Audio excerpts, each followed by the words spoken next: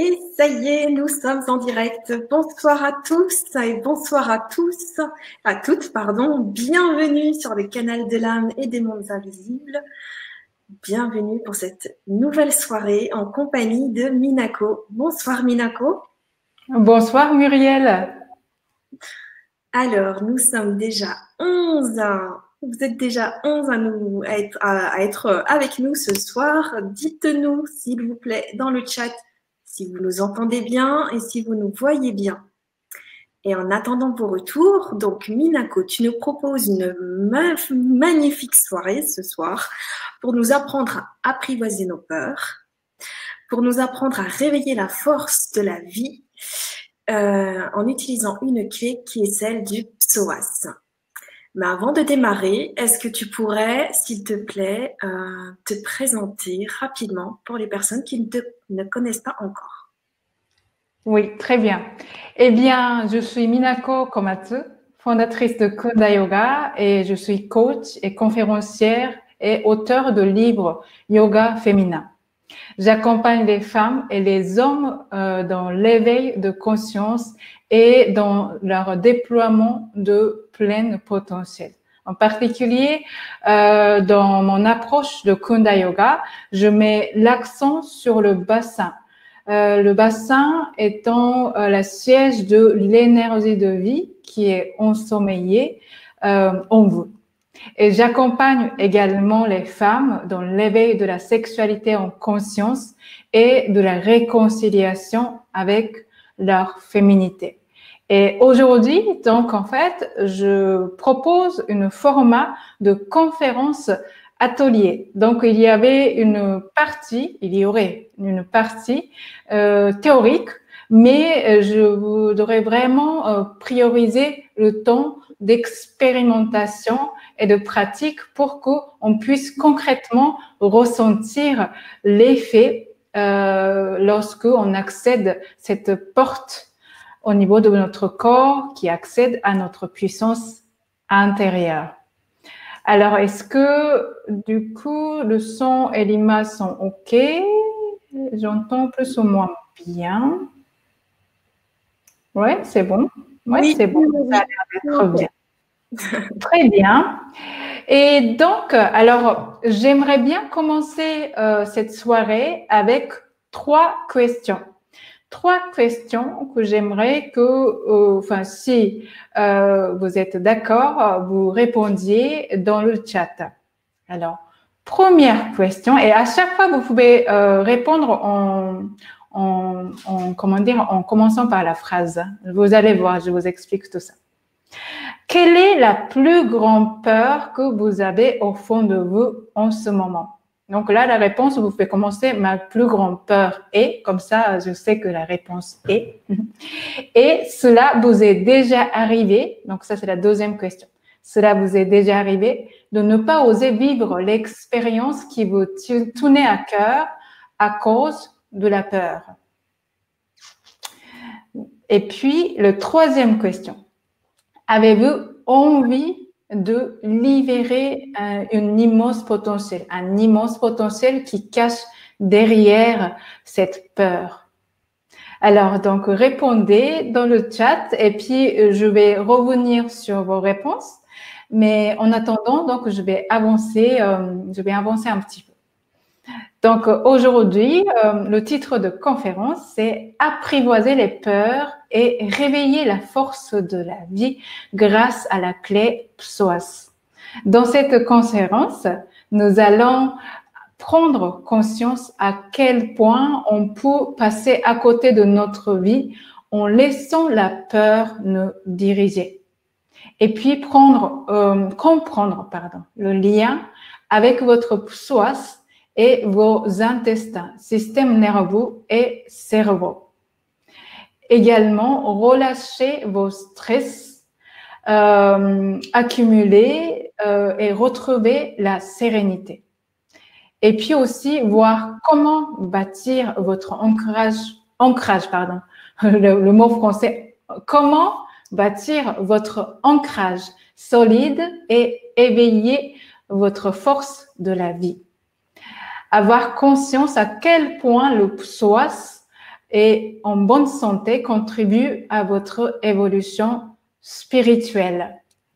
Voilà. Alors, est-ce que il commence, commence à avoir des réponses Peut-être pas encore tout à fait? Ah, ça y est, ça y est. Oui, oui. Alors, donc, euh, il y a Muriel qui dit Je n'arrive pas à trouver de peur. Eh bien, peut-être euh, c'est une bonne chose, ça veut dire que tu n'as, il n'y a pas de peur en ce moment. Et euh, Fa, ma plus grande peur serait le décès de mes proches. Hmm. Oui, en effet, ça c'est aussi une des peurs. Euh, qui est assez commun quand euh, je suis dans l'accompagnement, de perdre quelqu'un, que ce soit un décès ou que ce soit une rupture, euh, ça peut être, oui, une des peurs que plusieurs d'entre nous ont dans ce cas-là. Alors, Karine, je viens d'arriver et je n'ai pas entendu les trois questions. Alors, bon, je vais juste répéter rapidement. Trois questions. Quelle est la plus grande de peur que vous avez au fond de vous? Question 2. Cela vous est déjà arrivé de ne pas oser vivre les expériences qui vous tenaient à cœur euh, en étant freiné par vos peurs? Et puis, troisième question. Avez-vous envie de libérer un immense potentiel qui cache derrière cette peur? Voilà, donc si euh, vous avez, il y a Alexandra, ma plus grande peur est également que mon conjoint décède. Donc, c'est aussi euh, de perdre quelqu'un qui vous est cher, Alexandra. Merci pour vos partage. Et puis, euh, ces éléments-là, nous allons les utiliser pendant le temps de pratique euh, qui implique le corps. Et justement, j'ai oublié de vous préciser que donc ce soir, nous allons avoir le temps de pratique donc, si euh, c'est possible pour vous, eh bien, ça serait bien qu'il y ait une surface au sol sur lequel vous pouvez vous allonger. Et puis, euh, et puis, et puis, euh, si euh, vous avez un tapis de yoga, eh bien, vous pouvez préparer un tapis de yoga ou un tapis de gym.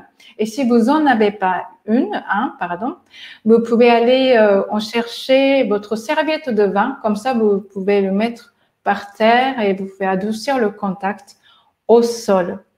Donc, si euh, voilà, vous, vous, avez, vous avez besoin de préparer tout ça, vous pouvez aller en chercher là pendant le temps que moi je vais euh, lire les autres personnes, les retours euh, par rapport à ma question. Alors, Evelyne, et j'ai tellement difficile de trouver, eh bien, bah, ça veut dire que peut-être pour, pour vous, en ce moment, plutôt, en fait, euh, vous êtes en train de vivre une période sereine. Hein, donc, c'est plutôt une bonne chose, nouvelle aussi. Alors, Muriel, peut-être deuxième Muriel, ma plus grande peur, c'est la mort. Oui, je suis souvent bloquée par la peur. Hmm, donc, peut-être pour toi, dans ce cas-là, c'est sa propre peur, sa propre, pardon, euh, mort Peut-être c'est ça, Muriel, c'est de le fait que l'idée que en fait nous allons être anéantis et que le fait que notre existence pourrait euh, peut-être disparaître. Est-ce que c'est peut-être ça? Et Isabelle, ma peur est de perdre tous mes moyens lorsque je rencontre un homme et donc perdre tous euh, mes moyens. Ma peur m'a déjà fait fuir des rencontres donc, de passer euh, sûrement à côté euh, d'une belle histoire et de rester célibataire. Je n'arrive pas à me débarrasser à cette peur. Eh ben, merci beaucoup pour euh, ton retour qui est très, très concret, Isabelle. Euh, c'est vrai que c'est pour vous, plus que ça soit concret et que vous mettez le doigt dessus, eh bien, ça serait utile pour le temps d'exercice. Alors, Ta, ta, ta. Karine, merci. Euh, ma plus grande peur, c'est d'être confrontée à la mort de mes proches. Ah, donc ça, c'est tu es la troisième personne. Eh bien, merci beaucoup. Donc ça, on va aussi euh, explorer euh, cette peur tout à l'heure. Euh, Muriel qui dit oui, oui, c'est ça, oui, voilà, merci pour ta validation. Ma peur euh, ressemble à celle de Isabelle, mais pas la seule. Et ouais, à cambriolé en janvier. Donc, il y a quelque chose aussi dans l'ordre de intrusion. Et intrusion, c'est aussi le thème, euh, bah, notamment euh, chez les femmes, euh, bah, c'est vraiment le bassin, c'est l'endroit où on se crispe lorsqu'il y a la peur d'intrusion dans tous les sens, même l'appartement, que ce soit évidemment euh, psychologiquement et puis aussi physiquement. Mm. Alors, donc, euh, Yvette Anne euh, et Mario, ma plus grande peur, déjà travaillé, mais euh, pour interrogation, c'est de devoir finir dans la rue et y mourir. Eh bien, Yvette, on se retrouve parce que moi, je vais en parler un peu plus, mais c'était une de mes plus grandes peurs, en effet. Euh, Mario, donc sa plus grande peur serait de perdre totalement le contrôle et faire du mal à quelqu'un. Eh bien, oui, il peut y avoir aussi le mémoire par rapport à, dans ce genre de peur, euh, par rapport à la, euh, l'histoire familiale. Et l'histoire familiale et puis tout ce qui est en rapport avec le passé, c'est aussi le bassin, c'est, une des régions où on peut euh, retrouver ces mémoires. Donc, merci beaucoup pour nombreux, vos nombreux retours.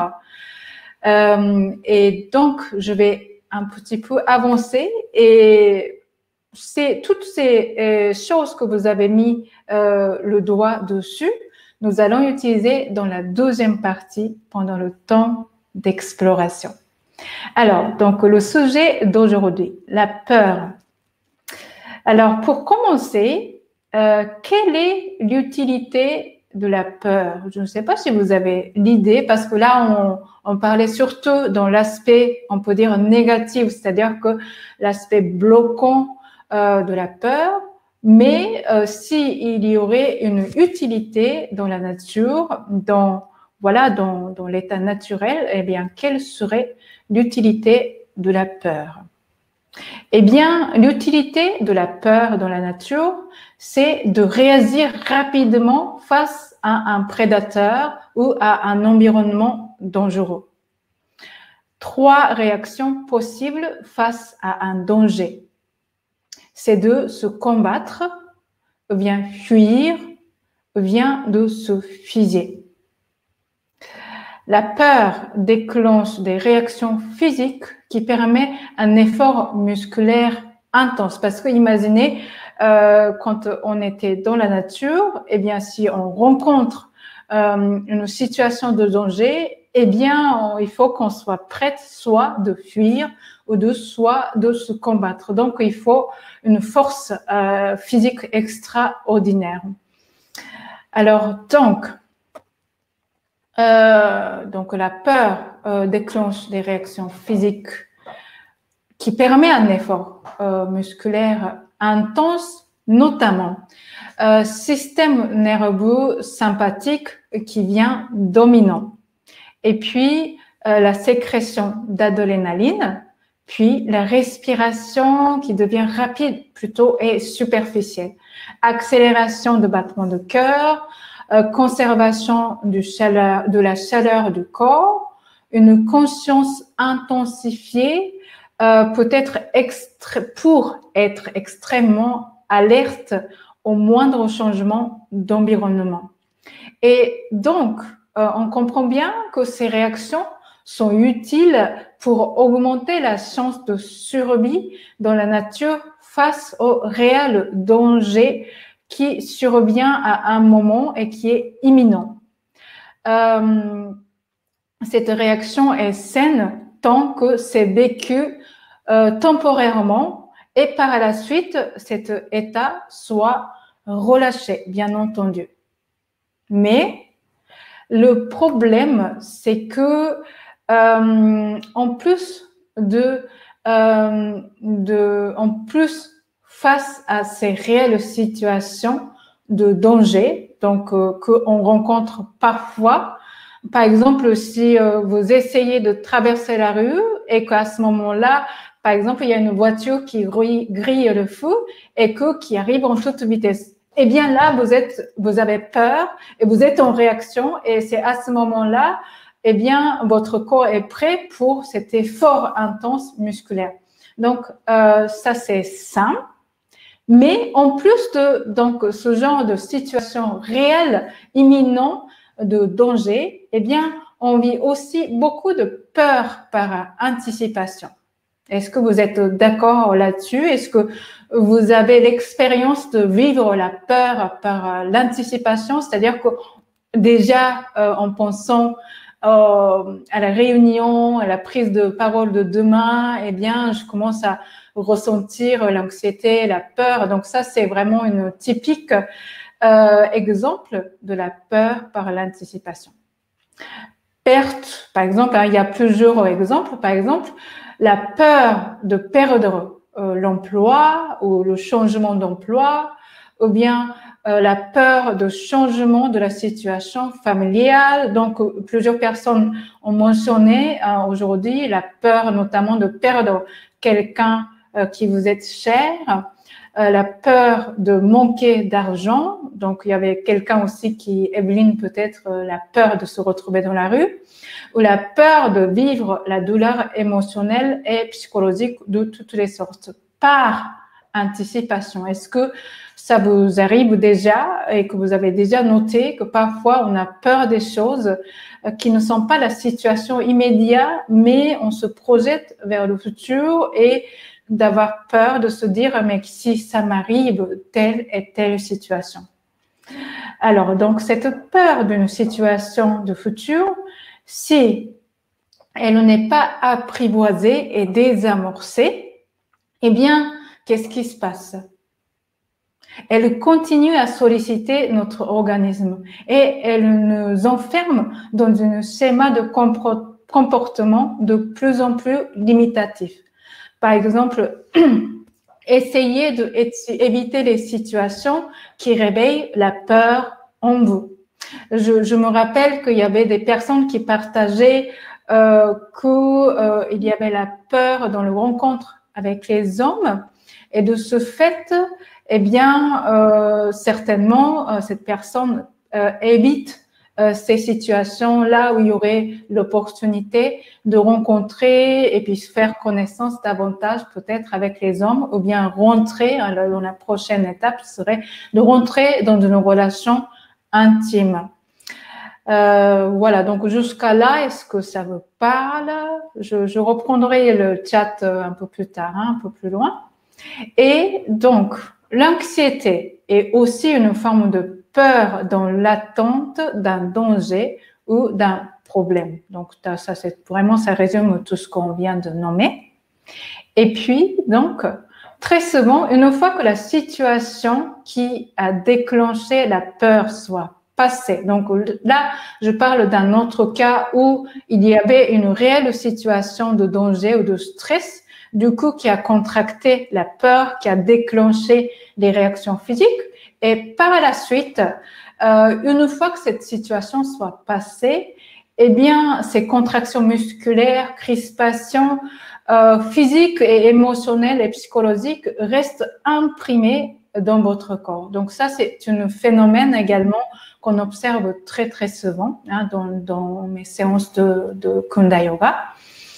Et puis aussi, ces peurs euh, qui est restées imprimées en nous sont euh, comme quelque part des paquets d'énergie, c'est-à-dire que l'énergie, tant que euh, cette énergie vitale à l'intérieur de votre corps qui continue à circuler, qui est fluide, eh bien, vous pouvez utiliser cette énergie pour euh, agir, pour euh, avoir des idées claires, pour bah, plein de choses, pour aussi méditer, pour aller euh, vers l'opportunité, etc.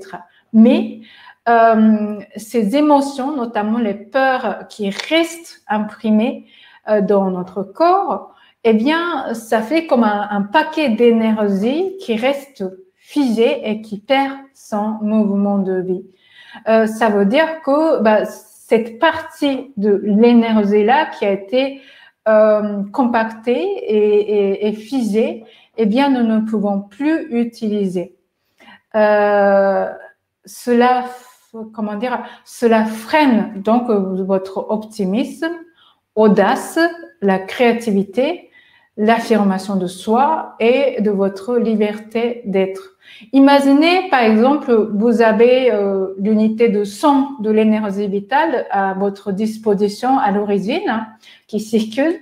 Mais petit à petit, à chaque fois que vous vivez la situation de peur et que cette peur reste imprimée dans votre organisme, quand je parle de l'organisme, c'est aussi euh, corps physique, mais le corps énergétique, eh bien, bah, cette partie, par exemple, le premier coup, il y a 15 euh, unités de, c'est juste pour faire l'image, hein, 15 unités de l'énergie vitale qui restent figées à partir de ce moment-là, eh bien, je commence à continuer à fonctionner avec 85. Et puis, d'autres expériences de vie, par exemple, j'ai vécu une rupture qui est très douloureuse avec un homme. Et là, hop, il y a aussi une autre peur que je comprime et l'énergie est prise. Et du coup, peut-être il y a 20 de plus d'unités de l'énergie qui est prise et qui est figée. Eh bien, ça fait 15 plus 20, ça fait 35. Donc là, je, je, je dois continuer à fonctionner maintenant avec 65 unités de mon énergie et ainsi de suite. Donc, au bout d'un moment, eh bien, on a l'impression qu'on sent un peu une perte de vitalité et, comme j'ai dit, euh, une perte d'optimisme, parce que finalement, l'état d'optimisme, c'est égal aussi à l'état où l'énergie circule fluidement. Nos émotions sont intimement euh, connectées et reliées avec notre état énergétique. Donc, plus euh, notre énergie sont pris et que reste figé notre, dans notre système, eh bien, plus nous avons la tendance d'être, par exemple, pessimiste ou, d'être, euh, par exemple, ressentir la culpabilité de plus en plus souvent, ainsi de suite. Et puis, évidemment, donc, on perd l'audace. La créativité, c'est aussi, c'est vraiment euh, l'énergie qui est fluide. Et c'est comme ça que les choses qui vont naître à travers votre être. Donc tout ça, on le perd en perdant cette mobilité, la fluidité de l'énergie de vie à l'intérieur de vous. Et puis aussi euh, garder ces vieilles peurs. C'est comme si euh, notre expression de vie euh, donc, et de l'énergie donc qui circule, euh, enfin la circulation, comment excusez-moi, je vais essayer de formuler correctement en français. Donc, c'est grand, euh, garder ces vieilles peurs, c'est comme si notre expression de vie est maintenue et euh, bloquée et euh, d'être plus en plus limitée.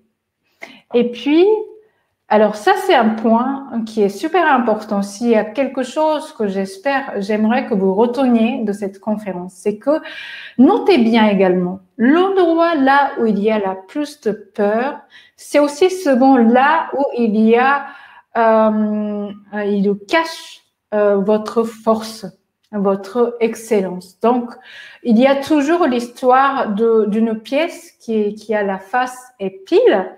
Donc, l'endroit où vous avez la plus peur, eh bien, certainement, c'est aussi l'endroit où, lorsque la pièce est retournée, eh bien, vous découvrez en fait l'endroit où il y a votre excellence. Donc, par exemple, notamment la peur de décès d'une proche, eh bien, lorsque il est retourné, il se peut que euh, vous pouvez avoir vraiment cette force au point de peut-être accompagner les autres personnes à ces moments de passage. Ça, c'est par exemple un exemple. Hein. Alors, donc, Avez-vous déjà connu ce genre de peur de, par la anticipation Eh bien, j'aimerais bien euh, regarder et faire un petit peu le retour de chat. Euh, donc, en fait, cette peur d'anticipation ou la peur qui persiste après longtemps d'avoir vécu un réel moment de danger. Donc ça, euh, peut-être, je crois que vous avez déjà des personnes qui qui ont répondu parce que continue à parler. Est-ce que tu peux suivre un petit peu et tu peux me le lire? Oui, je fais le relais. Donc, Karine dit tout à fait d'accord. Evelyne, mhm. tout à fait ça. Isabelle, mhm. tout à fait. Muriel, oui, tout le temps. Peur de décevoir les autres, donc anticiper ah, tout le temps mon comportement. Oui, oui, oui, c'est ça. Gwen, oui, plus souvent comme mode réel en fait. Oui, oui, c'est ça. Mm, c'est ça. Yvette, Anne et Mario, oui, oui, évidemment, c'est notre cerveau qui nous joue des tours. Exactement, exactement. Mm. Et elle poursuit en disant Waouh, belle explication, car lors d'abus, c'est justement ce qui se passe et la douleur, malgré des guérisons partielles, ne part pas complètement. Très intéressant. et puis, euh, ça, ça c'est vraiment, euh, j'imagine que toi, euh, tu, tu, tu expérimentes aussi cette contraction physiquement hein, lors de l'abus. après, souvent, il y a vraiment le fermeture qui se crée. Euh, bah, malgré euh, voilà en fait cette tentation d'apprivoisement et, et, dans ce sens euh, l'approche corporelle pourrait vraiment t'aider oui Evelyne partage ai toujours eu peur de ma sœur mmh, oui donc c'est quelque chose qui est en lien avec ton enfance et peut-être il y a eu comment dirais-je ben, des expériences euh, qui fait que tu as contracté cette peur et que tu as gardé euh, jusqu'à aujourd'hui. Oui. Yvette, Anne et Mario, ce que vous dites résonne, car le chakra de base étant l'ancrage et permet de gagner de l'argent. Ouais, c'est ça, exactement, exactement. Et puis euh, cette peur de, de, de de ne pas pouvoir subvenir à nos besoins, c'est aussi une de nos peurs euh, fondamentales euh, que certaines personnes ressentent très fortement. Oui, je te remercie. Mm. Evelyne, jalouse de moi à outrance. Donc, je suppose qu'elle fait référence à sa sœur. Ah oui, d'accord, d'accord. Donc, du coup, peut-être tu as peur de ses réactions. D'accord. Eh bien, euh, merci beaucoup pour vos retours parce que là, je vois bien que ça, ça, ça résonne, ça résonne bien. Bah, plus, voilà, il y a une résonance, plus euh, la deuxième partie euh, corporelle va être parlant aussi pour vous autres. Donc, merci beaucoup. Et maintenant, donc, j'aimerais parler de, de, voilà, les points suivants. C'est-à-dire que euh, vous avez peut-être déjà essayé de vaincre la peur en les mettant, euh, bon, c'est pas forcément, bon, on le sait, hein, c'est pas forcément une bonne solution, mais en les mettant sur le tapis, de dire que ça va, moi tout va bien et tout. Ou bien en ayant un recours des pensées positives. Mais euh, c'était comme si vous essayiez de repeindre le mur où il y avait encore la l'humidité. Euh, Est-ce que ça, ça, résonne pour vous? Moi, par exemple, ça m'est déjà arrivé hein, dans le passé, avant de euh, associer en fait euh, mon état émotionnel et psychologique avec euh, mon corps. Eh bien, par exemple, j'ai essayé de pratiquer la pensée positive, euh, qui peut marcher juste pendant un court moment, mais j'ai vraiment eu cette sensation comme si euh, en dessous de cette euh, ben, décoration qui est jolie, la couleur qui est jolie, qui est repeint, eh bien, il y avait toujours cette peur qui restait humide. Donc, du coup, en fait, je pouvais jamais assainir les murs. Voilà, donc c'est pour ça que j'ai utilisé cette expression. Peut-être ça vous résonne. Et puis, vous avez peut-être aussi entrepris par vous-même ou vous avez dans votre entourage des personnes qui ont entrepris des longues années de psychanalyse. Et pourtant, leur peur continuait à, conditionner leur vie ou votre vie. Et puis, euh, peut-être, euh, vous avez déjà vécu aussi, euh, vous êtes forcé pour avancer Hein, par exemple, si vous avez un projet, vous avez peur, alors vous vous forcez pour avancer et à un moment donné, la peur vous a rattrapé et, et là, vous avez perdu euh, cette capacité d'action, vous avez perdu la confiance. Eh bien, euh, moi tout à l'heure, par exemple, j'ai parlé combien la peur pour réduire l'expression de la vie. Et moi, par exemple, moi-même, entre l'adolescent jusqu'à à peu près 25 ans, j'ai été complètement soumise par mes pensées et mes émotions et je n'avais aucune prise sur mes émotions, notamment euh, mes peurs. Par exemple, quand euh, j'ai été lycéenne, eh bien, euh, j'avais une fascination à tout ce qui implique le corps et être à la fois devant le public. Par exemple, la danse, le théâtre, jouer les tambours traditionnels japonaises. Je, je, suis japonaise, donc j'ai grandi au Japon. Le chant, donner une, par exemple, donner aussi une conférence. Donc tout ça, j'ai été, mais vraiment, j'avais une admiration, à la fois une fascination auprès de mes amis hein, qui osaient euh, faire ces, ces pratiques, osaient être sur scène, etc. Mais moi-même, eh bien, vraiment, j'avais trop peur de tout ça et puis je me sentais trop timide pour pouvoir le faire. Et donc, cette peur consistait à la peur de jugement des autres. Et chaque année, quand il y avait une festival de l'école, eh bien, ma classe préparait à jouer une pièce de théâtre. Et j'avais très, très envie de jouer un rôle dans, bah, dans chacune de ces pièces, mais je n'ai jamais osé lever la main pour me candidater. Du coup, j'étais toujours dans le côté euh, technique. Entre autres, euh, euh, j'ai aussi ma formation de, de, la mode. Et déjà à lycéenne, j'aimais bien faire la couture. Donc, j'ai toujours été une costumière et jamais je me suis autorisée à monter sur scène. Et je subissais euh, ces peurs comme une fatalité, mais vraiment une fatalité. Je pouvais rien y faire. Comme quelque chose euh, que je puisse euh, difficilement franchir, enfin presque impossible de franchir. Pendant plusieurs années, eh bien, j'ai passé évidemment à côté de l'expérience que je voulais m'offrir, ce qui était monter sur scène.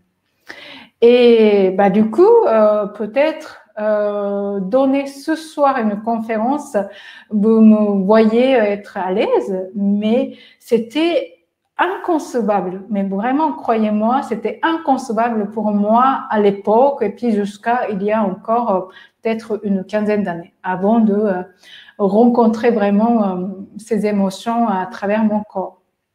Et puis, j'avais la tendance de penser que les gens qui me disent qu'il faut oser et dépasser la peur, eh bien, en fait, intérieurement, je disais, mais non, en fait, ils minimisent à quel point ma peur était, euh, était vraiment présent et que qui euh, bloquait ma vie et que certainement les gens qui disent non, non, mais il faut oser, il faut y aller, ben, peut-être ils ne devraient pas ressentir à ce, à ce niveau de peur.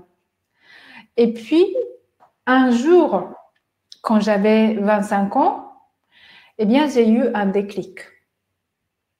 Et cette, euh, ce déclic était, en fait, euh, en discutant avec un ami qui était danseur et puis en même temps euh, qui était curateur dans l'art contemporain. Et il m'a dit que le corps était la porte pour accéder au monde émotionnel et psychologique. Et que quand on a dit sur notre corps, on pouvait transformer notre état émotionnel et psychologique.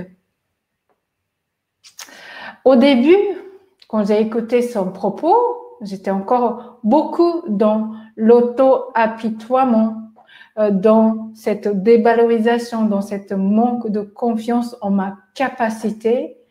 Et je lui ai dit que bah, de toute façon, euh, toi, tu ne comprends pas ma souffrance, à quel point pour moi c'est compliqué, c'est difficile. Et euh, c'est juste à ce moment-là, quand j'ai entendu son propos, Hein, qui, qui a fait, qui n'a pas fait le déclic comme vous voyez en fait immédiate. Hein. J'ai la, à premier abord j'ai rejeté et en même temps cette phrase m'est restée.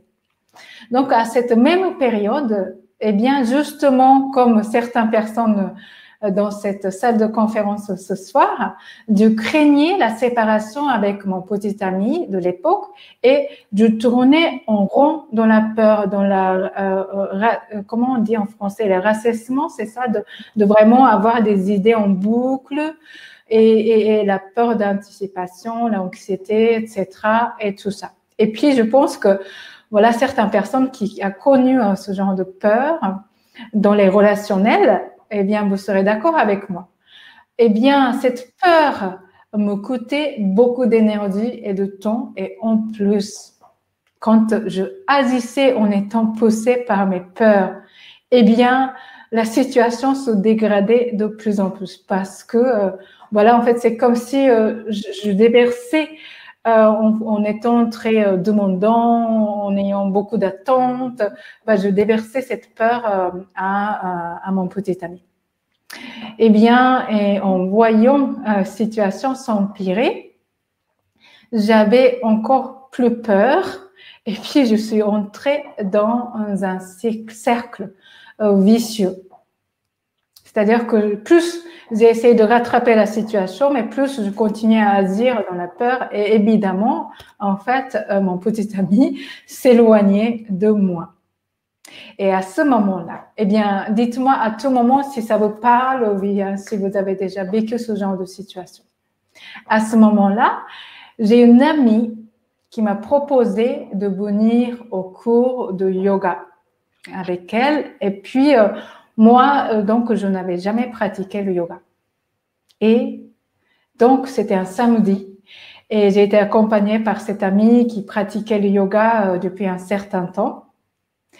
Et quand je suis sortie de mon premier cours de yoga, eh bien, c'est là que j'ai compris ce que mon ami danseur disait, que le corps était la porte pour accéder à notre état émotionnel et psychologique. Et que lorsque notre corps change, notre état physique change, lorsque nos muscles se relâchent, eh bien, euh, mon état psychologique et émotionnel se transforme et se détend également. Parce que après ce cours, eh bien, j'ai ressenti une grande sérénité et la paix intérieure que vraiment euh, que je n'ai pas connue auparavant. En particulier, euh, j'ai un mental euh, qui tourne en toute vitesse. Aujourd'hui, grâce à la pratique du yoga, voilà, en fait, mon mental est un peu plus apaisé, mais ma nature est que, en fait, mon mental, il est, c'est le mental qui mouline hein, dans l'expression française. Alors, quand je suis sortie de, mon premier cours de yoga, c'est d'un coup, c'est comme si en fait euh, le niveau sonore intérieur a baissé de 75% et j'avais beaucoup plus d'espace à l'intérieur de moi. Et euh, c'est juste, j'ai été bien à ce moment-là avec moi-même. Et je me suis dit, waouh, et oui, nous avons la possibilité d'agir euh, ce qui se passe à l'intérieur de nous en agissant sur notre corps. L'état émotionnel, psychologique change quand notre corps change. Alors, en particulier, aujourd'hui, nous allons accorder une attention sur les muscles c'est-à-dire que moi, je parle globalement de tout le corps, mais en particulier, quand même, le muscle psoas a un rôle important quand on parle de ce genre de peur et puis tout ce qui engendre euh, cette peur. Alors, est-ce que tout s'est coupé et c'est revenu? Ok, donc ça a l'air d'être bien. Ok. Est-ce qu'il y a des choses euh, qui a besoin de reprendre de chat ou tout va bien? Ça va, Muriel? Tout va bien, tout va bien, tout va très bien. Il y a beaucoup de réactions dans le chat ce soir. Super, super. Eh bien, euh, on peut, est-ce qu'on peut mettre le schéma de PSOAS Est-ce que tu pourrais le mettre en, grand écran? Oui. Je vais Comme je n'ai pas encore l'habitude avec cette nouvel outil, euh, merci beaucoup Muriel. Voilà, c'est parti. Super. Donc, voici euh, la clé PSOAS. Donc, dans un premier temps, je vous invite à observer, si vous pouvez même agrandir. Et puis, j'ai oublié de vous dire, pour tous euh, ceux et celles qui ont envie de regarder de plus près, euh, de plus grand, eh bien, vous pouvez également, euh, tout, tout en haut, je crois, dans le chat, c'est marqué PSOAS en dessin. Et là, il y a le lien WeTransfer. Donc, on a mis en place tout à l'heure avec Muriel, qui vous permet de télécharger ce même schéma de PSOAS euh, sur votre bureau, sur votre ordinateur. Et vous pouvez également en garder parce que c'est très, très important lorsque nous allons pratiquer tout à l'heure que vous puissiez visualiser intérieurement euh, où s'attache le muscle psoas, où se situe à l'intérieur de votre corps. Alors, le psoas, quels sont ses rôles et les attributs? Physiquement, donc, ce sont des muscles profonds et un des plus grands muscles dans le corps. Donc, le grand, si vous voyez, il y a le petit psoas et le grand psoas, le psoas. Le grand psoas étant un des plus grands muscles dans le corps. Et seul muscle qui relie le haut du corps et à bas du corps. C'est-à-dire que qui relie entre votre, vos lombaires vers vos jambes. Et ben, dans ce sens, évidemment, pour les personnes qui, qui fait tilt, eh bien, en fait, c'est le muscle également qui relie euh, la terre, enfin, c'est cet équilibre tertiaire, c'est-à-dire que la vie matérielle et physique, et puis aussi la vie euh, spirituelle. Donc, ça parle de ça aussi, le psoas. Il est aussi le muscle qui se situe en proximité de euh, centre de gravité du corps. Il est le muscle stabilisateur. Alors, qui dit stabilisateur physiquement, ben, c'est aussi le stabilisateur euh, émotionnel, stabilisateur en tant que euh, fondation de votre vie. Il joue un rôle essentiel sur le maintien de la posture et de l'équilibre, tout comme dans votre vie, hein, aussi physiquement, mais aussi dans votre vie. Psoas est également relié au système nerveux qui contrôle nombreuses fonctions de notre organisme, comme nous avons vu tout au début hein, dans le rôle de peur. Et euh, donc, il réagit face au stress, un danger, et puis qui influence notre humeur. Donc, je parle de système nerveux. Hein. Psoas est également relié à, la région intestinale qui fonctionne comme un deuxième cerveau. Je pense qu'il y a plus en plus d'ouvrages qui a été écrit et vous en avez lu un de ces ouvrages hein, sur vos intestins. Les intestins reçoivent les informations depuis le système nerveux sympathique et parasympathique. Donc, tout est, tout est relié, tout est lié. Et les intestins également produit le précurseur de sérotonine. Sérotonine, c'est justement euh, cette neurotransmetteur qui permet de ressentir la sérénité et l'apaisement. Hmm. Alors, donc, au niveau émotionnel euh, et psychologique et spirituel, le psoas. Ce muscle est un soutien de notre axe vertical en reliant à notre fondation de l'être, le bassin, et euh, notre capacité d'action. Selon la médecine chinoise, les reins euh, sont liés à l'émotion de la peur. Le psoas se situe en proximité des reins et donc euh, en mobilisant le psoas, on peut également masser les reins. Dans notre corps, il y a des mémoires émotionnelles qui restent, donc comme j'ai expliqué tout à l'heure, qui restent imprimées. Et si on, les, on ne libère pas par la suite, donc ils restent vraiment euh, incrustés euh, dans, dans, notre corps et notamment dans les psoas, la peur. Quand on accumule ces émotions dans le corps, au niveau de psoas aussi, limite le mouvement de vie euh, physiquement et psychiquement. Donc, tout ce que j'ai expliqué plus haut. Et si on laisse dicter notre vie par la peur, eh bien, on devient de plus en plus peureux et on ne peut plus, euh, eh bien, extrême, quand on va jusqu'à l'extrême, on ne peut plus sortir de la maison. Mais c'est ce qui se passe dans certains domaines de la vie, littéralement. Hein. Par exemple, si, par exemple, quelqu'un est très à l'aise dans leur vie professionnelle, du coup, il n'a pas tellement de peur à cet endroit, mais quand on parle de relations intimes, eh bien, euh, il n'ose plus ouvrir euh, la, porte de sa maison et aller à la rencontre, par exemple. Bon, peut-être j'exagère un peu, mais pas, pas tant que ça. Par exemple, euh, moi, si j'ai eu un grand chagrin d'amour et que j'ai peur de ouvrir mon cœur à une nouvelle personne, eh bien, soit je me dis plus jamais ça, et donc, je mets de plus en plus dans le repli de soi-même, ou bien soit je choisis d'apprivoiser cette peur.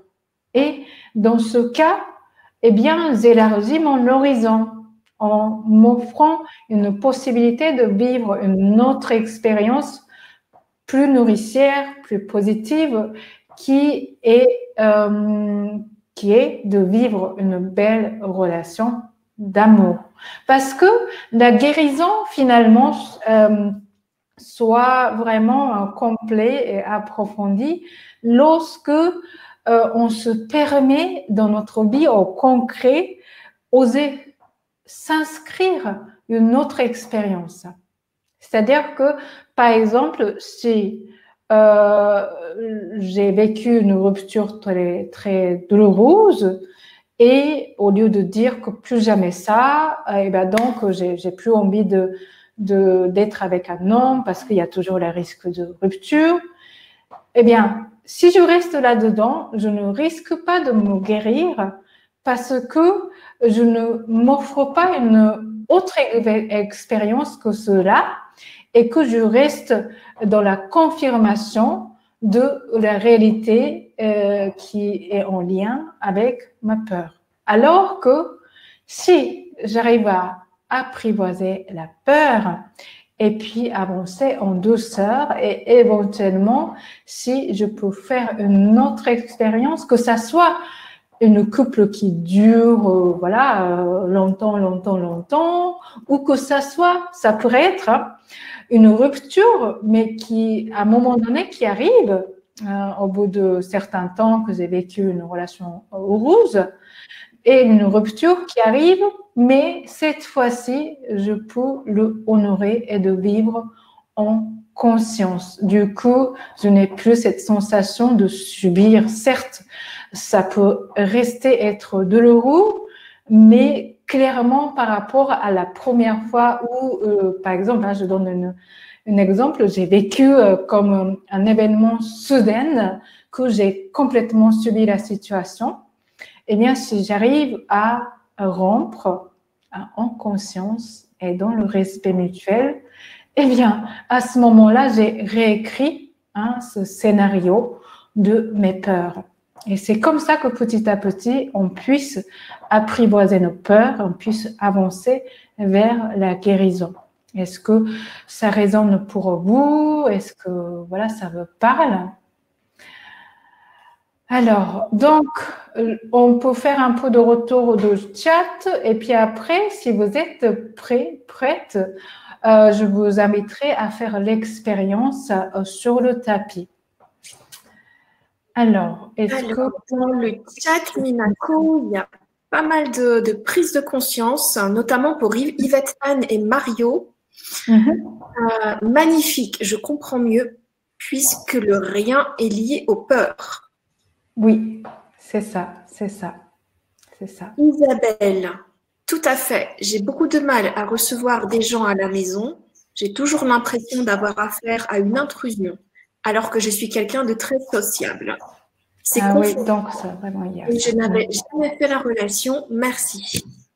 Bah, merci à euh, tous vos, tous vos retours et puis toute votre participation en conscience parce que c'est comme ça qu'on crée euh, cet espace-temps ensemble. Et puis merci beaucoup pour votre courage d'aller voir à l'intérieur de vous. Alors, oui, Gwen et Karine disent oui, ça résonne énormément ce que tu, ce que tu racontes. Hmm. Soraya, est-ce que procrastiner peut avoir une relation avec le psoas? Oui, oui, oui, oui, oui, parce que en fait, c'est aussi euh, c'est les muscles qu'on utilise pour avancer.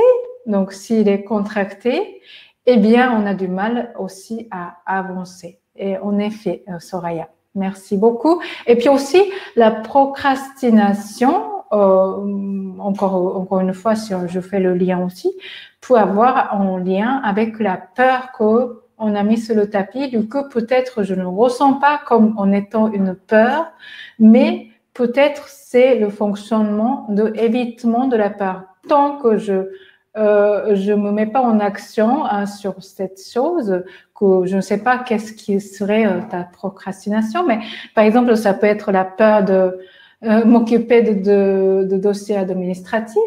Eh bien, peut-être derrière, il peut y avoir la peur de mettre la clarté euh, sur ta situation financière, ou bien sur ta situation administrative ou au niveau statut comment dire, oui, statut juridique, ou, voilà. Et puis derrière ça, peut-être, quand on dit statut juridique, peut-être il peut y avoir aussi le sentiment d'imposteur ou bien la peur de jugement, de s'affirmer. Donc, évidemment, procrastination est souvent, souvent, souvent, euh, souvent, souvent, souvent, en lien avec la peur, en effet, si ça te parle. Et puis, il y a quelqu'un qui dit euh, Et je pu bloquer le psoas euh, dans une chute Alors, euh, ça dépend comment tu, as eu cette chute, mais il est possible, c'est-à-dire que de toute façon, au moment de la chute, il y a un choc physique et, psychologique aussi, et qu'à ce moment-là, notre corps se crispe très fortement eh bien, nos muscles, notamment le psoas, peuvent euh, imprimer ce choc et cette crispation tant qu'on ne vient pas le chercher et pour l'aider à le relâcher. Et Soraya qui dit, j'ai peur de me mettre en auto-entreprise à 59 ans avec 20 ans d'expérience dans mon métier. Oui, oui, d'accord. Et eh ben voilà, donc euh, tu as mis le doigt dessus. Donc en effet, la procrastination, dans votre cas, Soraya, est en lien avec cette peur. Euh, donc du coup, à ce moment-là, plutôt que de justement, quand j'ai parlé euh, tout à l'heure, quand on, essaie de se forcer et qu'on ah, on y va, on y va malgré tout et tout, eh bien souvent on est rattrapé euh, sans aller très loin par cette peur. Donc du coup, je stagne de nouveau, j'avance un peu et puis je procrastine encore, euh, ainsi de suite. Donc, en effet, à ce moment-là, c'est utile, Soraya, de mettre vraiment euh, le doigt sur tes peurs fondamentaux. Qu'est-ce que, par exemple, Soraya, pour aller plus loin, c'est quoi cette peur de, de te mettre en auto-entrepreneur à 59 ans? Euh, C'est la peur de quoi? La peur de la stabilité euh, financière? Ou bien c'est la peur du jugement des autres? Ou bien est-ce que la peur de tout mettre en avant, est-ce que tu peux avoir une idée de, euh, de voilà, est-ce que tu peux mettre davantage le mot dessus? Voilà, voilà. bon, eh bien, j'attends juste le retour de, de Soraya. Euh, et je vais juste retourner. Et puis après, on va passer à l'exercice procrastiner. C'est aussi d'avoir peur d'aller de l'avant. Muriel, oui, tout à fait. Je manque de confiance et je ne fais rien pour ne pas mal faire. Je crois que c'est ce que je vis. Merci beaucoup pour ton retour et que je suis vraiment touchée ce soir parce que vous avez vos retours sont vraiment authentiques parce que c'est déjà c'est la signe de courage de partager ça euh, avec euh, avec nous ce soir et chacun de vos retours permet aussi euh, chacun de nous de euh, comment dirais-je en fait se faire résonner hein, personnellement en chacun et chacune. Alors Soraya qui dit oui financière parce que je, je perds ma retraite. Ah oui, d'accord, c'est ça. Eh bien, Soraya, ça c'est aussi souvent en lien. Hein, les personnes qui ont eu le, le, travail de salariat ou de voilà de, personnes qui ont euh, cette éligibilité, c'est ça les mots français, euh, à la retraite et tout ça, et qui a envie maintenant de changer et entreprendre et tout ça. Alors, euh, c'est souvent en lien aussi dans notre étape d'évolution. Quand on est bébé, on ne peut pas se nourrir toute seule et on a absolument besoin les seins de maman. Et que quand on perd le sein de maman, eh bien, on n'a plus de moyens de se nourrir nous-mêmes. Et souvent, ce passage entre le, le métier en salarié ou bien enfin fonctionnel ou, euh, ou euh, voilà le droit de retraite et tout ça et en passage vers l'entrepreneuriat c'est en lien euh, avec ce passage où maintenant je peux attraper ma nourriture et puis mettre dans la bouche maintenant je vais même aller chercher dans la cuisine et ouvrir le frigo et, et savoir ce qui me plaît plutôt que de passivement attendre, que quelqu'un, euh, enfin, assurer que euh, voilà, il y aura toujours la nourriture qui vient à moi. Euh, est-ce que ça peut te parler, Soraya? Et puis aussi, ça, c'est aussi quelque chose qu'on vit vraiment, vraiment, comment dirais-je, collectivement en ce moment, parce que là, on annonce la crise financière, la, la comment dirais-je, c'est cette voilà, comment c'est quoi le mot, Muriel Voilà, c'est ça. Et, du coup, euh, je pense qu'il y a plusieurs personnes qui a à faire ce passage. C'est-à-dire qu'autrement dit, c'est également une opportunité pour nous de s'ouvrir et de quitter le sein de maman, que ce soit le gouvernement, que ce soit l'entreprise, et de dire que voilà, moi maintenant, je sais euh, me nourrir, aller chercher la nourriture. En plus, bon, euh, par chance, en fait, c'est qui me plaise parce que quand tu entreprends, Soraya, eh bien, c'est toi qui choisis les projets. Et donc, oui, vraiment, Soraya, je veux continuer à partager et enseigner. Et ben, donc, voilà. Eh bien, et je pense que si tu as envie, dans ton expertise, que tu as 20 ans d'expérience, si tu as envie de entreprendre aujourd'hui, eh bien, parce que tu dois avoir euh, une forte euh, vocation de refléter tes valeurs intimes dans ce que euh, tu fais, dans, enseigner. Je pense que ça, ça a de, voir avec ça. Alors, donc, on va passer sur le tapis. Est-ce que vous êtes prêts, prête? Je pense que oui. Hein? Eh bien, on va se mettre sur le tapis. Alors, je vais juste ranger la, chaise et puis euh, derrière, j'ai préparé. Hop, hop. Mince, pardon, excusez-moi, il y a quelque chose qui est tombé. Donc, on va se mettre sur le tapis. J'espère que vous me voyez bien. Je pense que là, ça va. Ça a l'air d'aller. Oui, on te voit bien. Hein, très bien. Eh bien, on va s'asseoir. Et là, dans un premier temps, dans cette partie assise, vous pouvez également vous asseoir sur une chaise si vous n'êtes pas à l'aise de vous asseoir comme moi en tailleur au sol. C'est tout à fait OK pour moi de vous asseoir euh, sur euh, une chaise.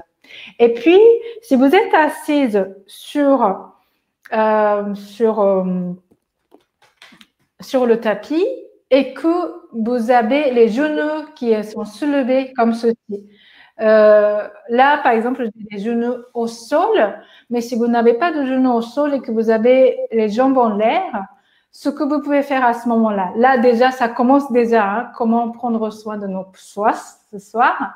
Eh bien, sachez que vous pouvez caler vos jambes, soit avec vos pieds, comme ceci. C'est-à-dire que vous placez euh, sur le côté de tibia, sur les pieds, sur le côté de pied. Comme ça, euh, vos pieds servent un support pour poser euh, vos tibias. Et là, la posture d'un coup, c'est beaucoup plus euh, stable, beaucoup moins bancal. Donc, vous pouvez essayer.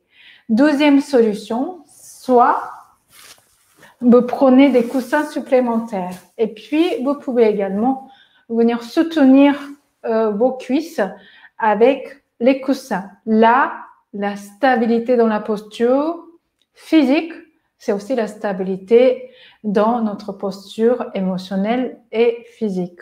Et puis là, euh, le psoas, il est tranquille, il n'est pas en, contraction. Eh bien, nous avançons. Et puis, n'oubliez pas que là, j'ai deux. Euh, surélevez votre bassin en position assise qui vous permet également la colonne vertébrale bien droite et puis un bon positionnement de votre bassin. Alors fermez les yeux et puis quelques instants ressentez votre respiration. Prenez le temps tout simplement de amener votre attention à l'intérieur de vous. Et puis,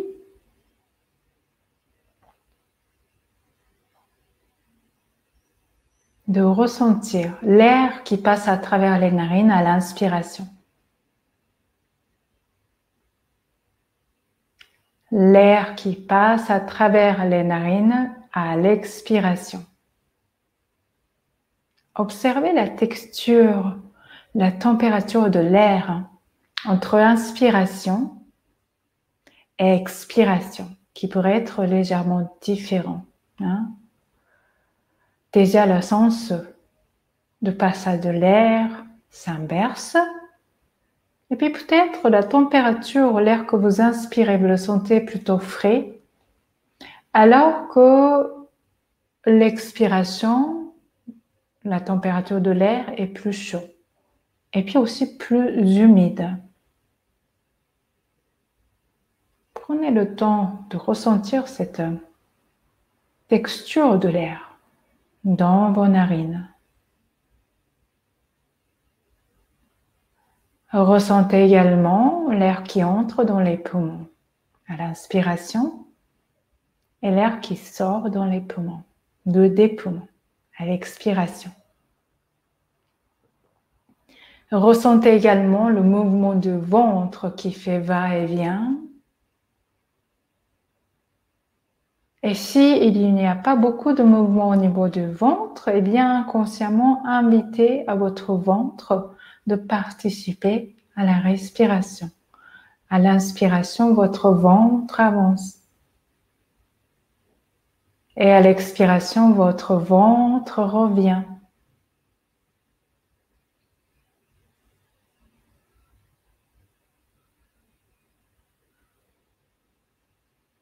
Et maintenant, vous allez ôter le coussin. Et puis les personnes qui étaient assises sur une chaise. Eh bien, bonnet, vous allongez sur le dos comme ceci, avec les genoux pliés. Et puis, si vous avez besoin de revoir le schéma de psoas pour vraiment euh, pouvoir le visualiser pendant l'exercice, vous pouvez ouvrir le fichier.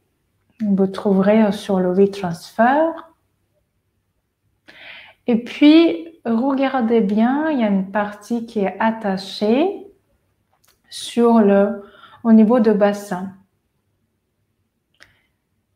Et puis, il y a une partie qui est attachée à l'intérieur des fémurs.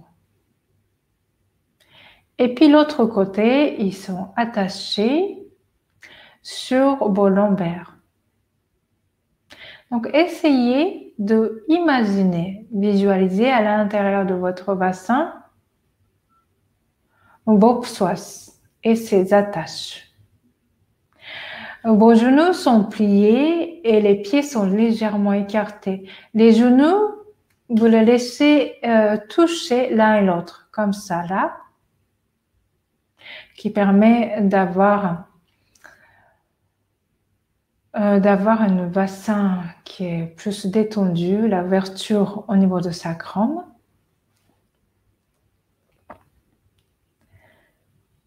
Et puis, essayez de ressentir physiquement dans votre ressenti la toucher. Les psoas. Est-ce que vous le sentez détendu? Est-ce que vous le sentez tendu? Il se peut que lorsque vous amenez votre conscience vers vos psoas, euh, grâce à le schéma, vous pouvez vraiment euh, aller euh, à cet endroit-là il se peut déjà que vous commencez à ressentir certaines émotions.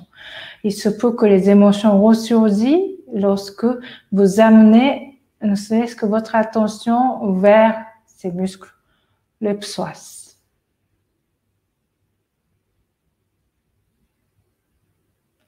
Et puis, placez les mains sur votre bas du ventre. et quelques respirations naturelles. J'inspire par le nez et j'expire par le nez. Et en inspirant et en expirant, il y a le mouvement du ventre. Et observez comment ce mouvement de respiration agit sur votre psoas. Ayez confiance en votre ressenti. Hein. C'est vraiment le dialogue avec votre corps. N'ayez pas peur d'être subjectif. Pour certaines personnes, lorsque vous accédez à vos psoas, vous pouvez ressentir déjà la tension, la fatigue accumulée, ces émotions accumulées.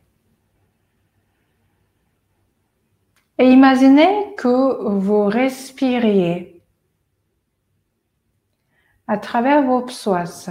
Et cette respiration amène une conscience encore plus aiguë, encore plus soutenue de vos psoas.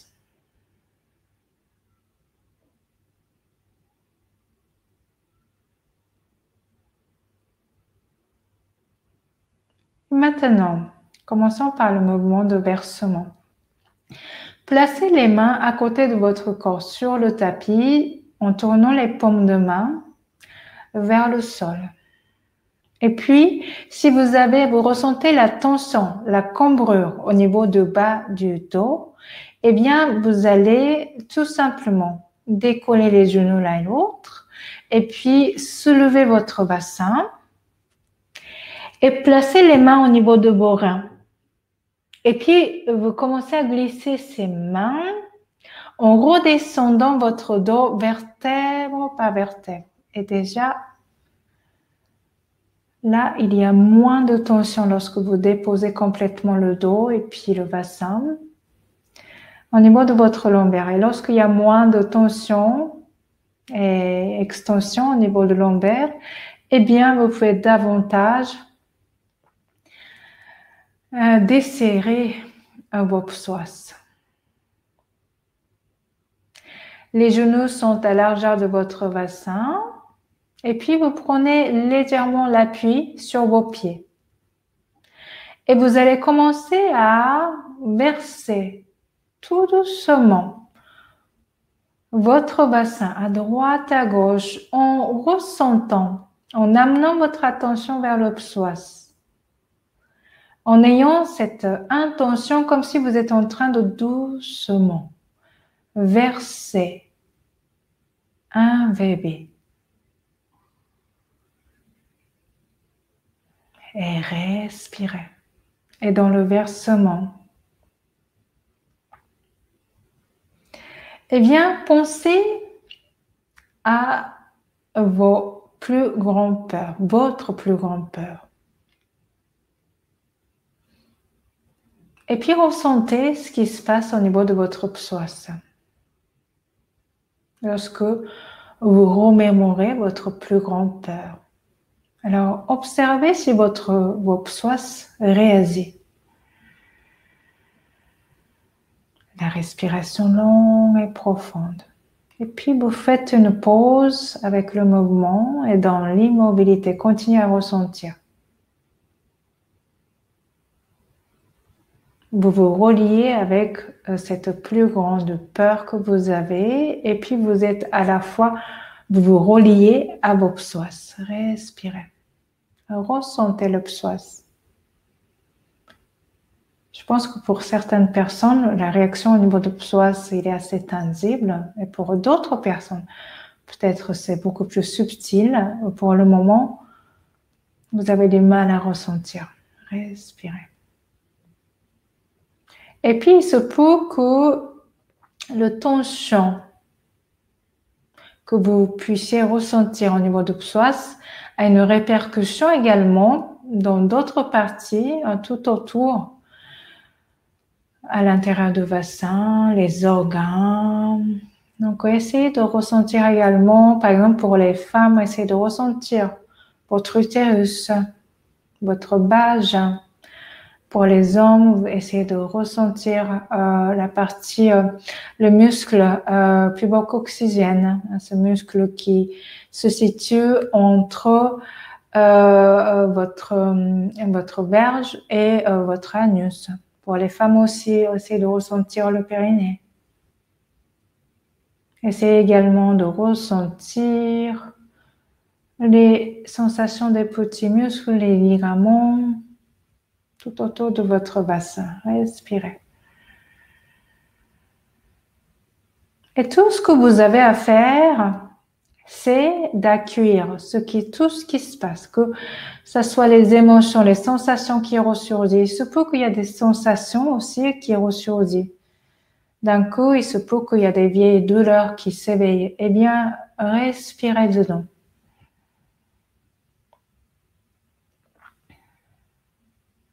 Et maintenant, tout doucement, on prend l'appui sur nos pieds. Et puis, nous allons soulever le bassin. Et nous allons venir soutenir notre bassin avec les mains. La respiration longue et profonde. Inspirez, expirez au niveau de votre vos Ressentez également l'attache au niveau de l'attache, l'envers, le bassin, le fémur respirez. À tout moment, si vous avez besoin de revoir le schéma, eh bien, téléchargez le schéma sur via transfer qui est en haut du chat. Et puis, ouvrez le schéma sur votre ordinateur. Respirez. La respiration par le nez, inspire et expire. Et tout doucement, vous allez vertèbre par vertèbre reposer votre dos, reposer votre bassin. Et puis cette fois-ci, vous allez saisir les jambes avec les mains et respirer. Là, vous allez mettre vos psoas en position de détente. Respirez.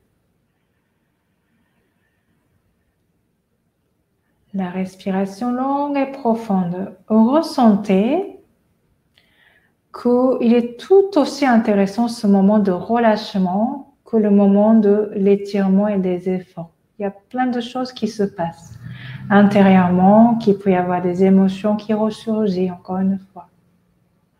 Les sensations qui ressurgissent. Respirez dedans. Respirez. Et puis dites à cette part de vous que vous êtes en contact à travers votre psoas, que ce soit la peur, que ce soit peut-être votre enfant intérieur qui a besoin d'être rassuré. Alors dites à cette part de vous, je suis là pour toi et je t'accompagne ce soir.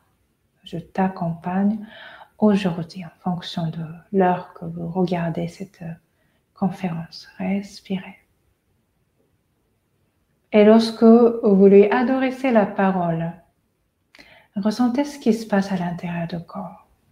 Respirez. Et maintenant, déposez les jambes, étalez les jambes au sol. Et prenez quelques instants pour ressentir ce qui se passe.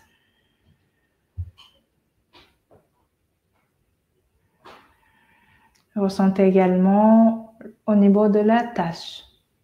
Parce que c'est là la tâche au niveau de l'ombre, là où euh, il y a ce lien hein, qui, qui, se crée avec le système nerveux. Respirez.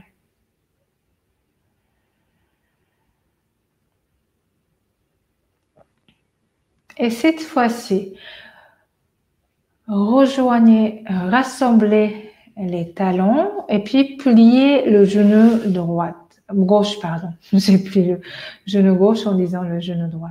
Pliez le genou gauche. Saisissez avec les deux mains. Et puis, attrapez avec votre main droite à l'extérieur. Vous placez votre main droite à l'extérieur de votre genou gauche. Laissez tomber votre euh, main, votre bras gauche au sol. Et puis, vous allez laisser aller comme cela sur le côté. Alors que vous allez essayer de ne pas laisser décoller votre épaule. Et si vous avez votre jambe gauche qui se trouve en l'air, eh bien, rattrapez le coussin. Et puis, vous faites le support avec le coussin.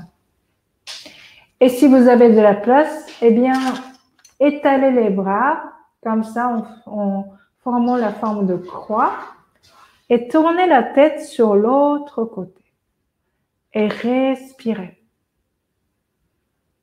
Tout en ressentant comment se positionne vos psoas. Respirez. Et parlez à votre psoas et à travers votre psoas à cette part de vous qui est en contact avec vous-même ce soir. Je te vois et je t'entends respirer. La respiration longue et profonde.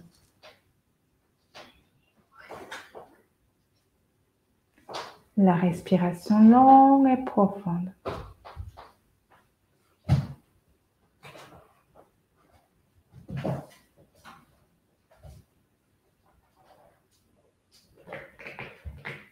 Et à chaque expiration, votre corps commence à se relâcher.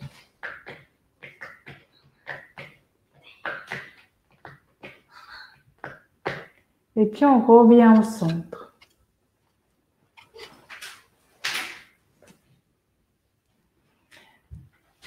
On change le côté. Alors, étalez la jambe gauche et puis attrapez votre genou droite. Et avec votre main gauche, placez votre main gauche à l'extérieur de genou droit et laissez votre jambe droite aller vers le côté gauche. Et s'il y a besoin, placez le coussin pour soutenir votre, votre genou droite. Et vous faites le bras euh, en formant le croix avec votre corps et tournez la tête sur l'autre côté. Essayez de garder vos douze épaules au sol. La respiration longue et profonde. S'il y a besoin de, soutien euh, avec le coussin, n'hésitez pas à ajouter deux ou trois coussins en sorte que votre jambe droite ne se trouve pas en l'air et qu'il soit soutenu avec le coussin. Respirez.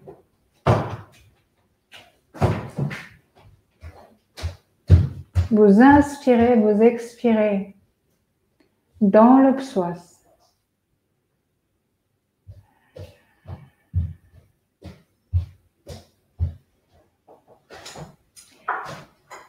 Visualisez la situation dans laquelle euh, vous avez peur. C'est-à-dire que pour certaines personnes, vous avez évoqué la peur de se retrouver dans la rue. Pour d'autres personnes, c'était la perte d'un être cher. Eh bien, essayez de vous mettre en situation intérieurement. Respirez. La respiration longue et profonde. Excusez-moi, il y a mon pied qui passe.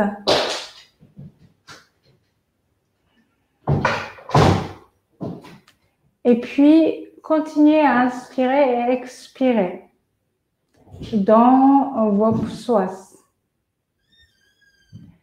Au moment où vous remémorez ces situations qui vous effrayent, il se peut que vous ressentez la crispation dans votre corps, dans votre psoas. Eh bien, continuez à respirer dedans. Et dites à cette partie de votre corps qui se crispe, qui réagit, dites à cette partie de votre corps, je suis là pour toi et je t'accompagne. Respirez. Soyez cet ami qui est à côté de vous, juste assise, et peut-être qui pose sa main sur votre dos et qui reste qui est là. Accordez votre respiration avec cette part de vous qui a peur, qui est dans l'anticipation. Et dites encore et encore, je suis là pour toi et je respire avec toi.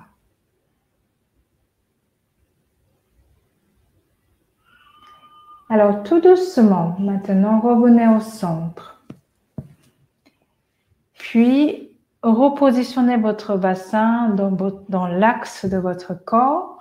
Écartez légèrement les pieds et laissez les deux genoux se toucher. Placez les mains en votre bas du ventre et quelques respirations. Ressentez ce qui se passe. Ressentez également ce qui se passe au niveau de vos intestins. Pour certaines personnes, il se peut que vous commencez à ressentir que l'intestin retrouve sa mobilité. La respiration longue et profonde. Et puis, pour certaines personnes qui ont évoqué euh, cette peur d'intrusion, de fermeture, eh bien, ressentez au niveau du bassin à quel endroit vous ressentez cette fermeture et respirez dedans. Peut-être, ça peut être pour certaines femmes au niveau de vagin. Ça peut être pour certaines euh, le muscle euh, de périnée. Ça peut être la contraction au niveau de psoas. C'est bien, respirez dedans. Et les mains qui est posées très très bas, hein, euh, presque au niveau des aines, et à travers les mains, imaginez accéder au psoas, votre énergie qui rayonne de vos mains, qui accède au psoas et respirez dedans.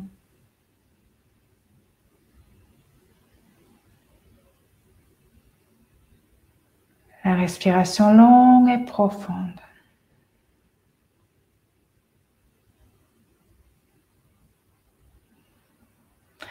Et rapprochez les pieds et puis euh, les genoux.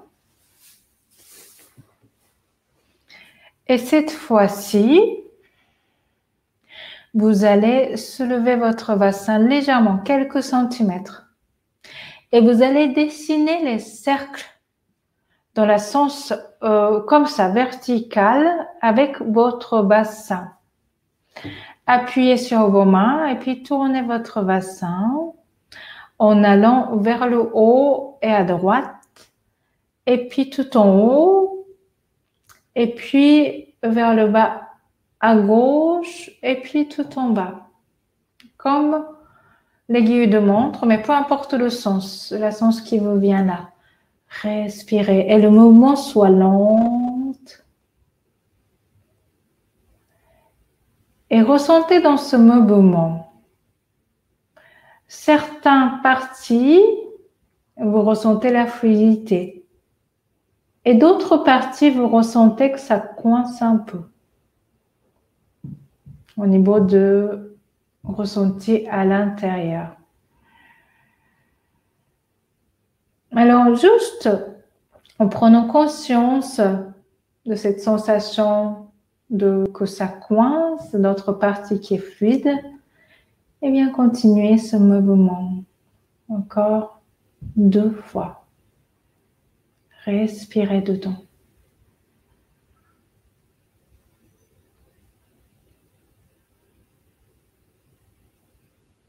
Et déposez votre bassin au sol, ramenez les genoux vers la poitrine avec les genoux écartés et puis saisissez avec chaque main. Comme ça, les genoux sont séparés.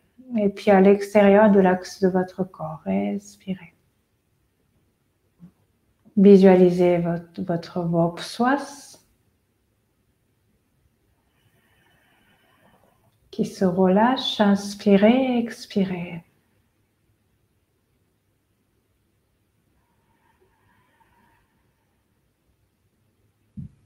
Et puis, déposez vos pieds.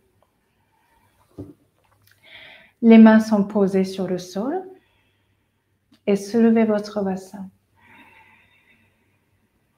Et tournez cette fois-ci dans l'autre sens, de bas vers le haut à gauche et puis tout en haut.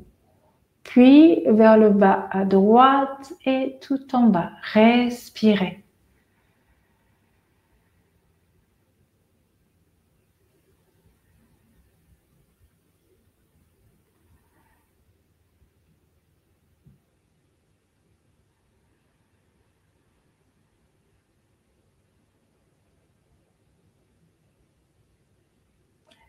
Plusieurs fois remémorer cette situation qui vous effraie et puis repérer ces contractions au niveau musculaire. Et lorsque vous repérez, et eh bien petit à petit, vous puissiez également le relâcher. Déposez maintenant votre bassin puis ramenez les genoux vers vous. Quelques respirations. Remémorer cette situation qui vous effraie. Et il se peut que votre corps réagisse un peu moins par rapport au début. Et il se peut que lorsque vous remémoriez cette situation, la réaction émotionnelle est peut-être moins intense maintenant. Notez, respirez.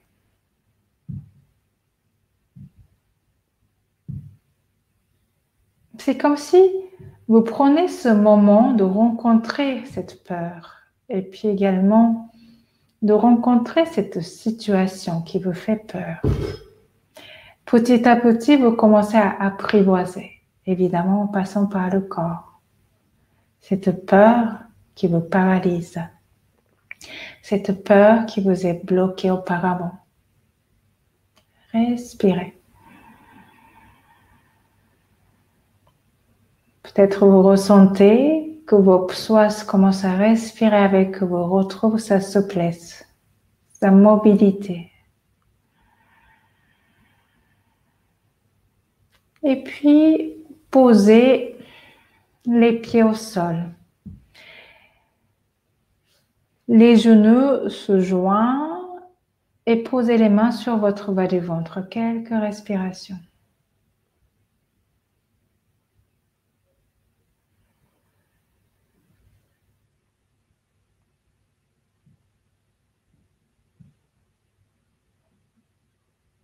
Et maintenant, tournez votre corps sur un côté.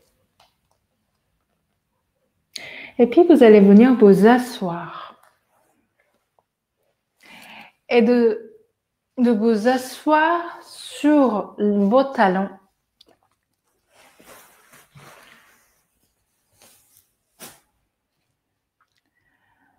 La posture de diamant. Depuis cette position, eh bien, vous allez venir vous agenouiller. Et puis, vous allez avancer votre jambe droite. Vous avancez votre bassin. Là, il y a euh, l'extension de psoas au niveau euh, de côté gauche. Ressentez. Visualisez la tâche, son étirement. Respirez. Si vous êtes à l'aise dans cette position, vous pouvez également joindre les mains devant le cœur. Sinon, gardez les mains sur vos genoux. Et si vous êtes à l'aise en ayant les mains jointes devant le cœur, vous pouvez également le lever et puis ouvrir votre poitrine. Respirez. La respiration longue et profonde. Inspirez, expirez dans votre psoas.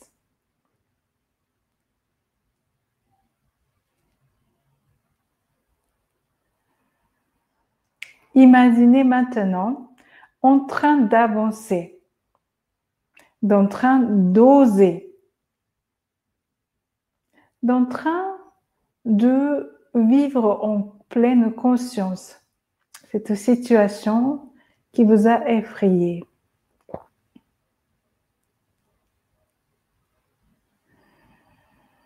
Et puis c'est également, par exemple, pour les personnes qui ont la peur, de se retrouver dans la rue. Eh bien, surtout cette peur vous paralyse et puis qui vous empêche souvent de mettre en place concret hein, pour avancer dans votre vie. Eh bien, dans ce cas-là, imaginez-vous en train de avancer.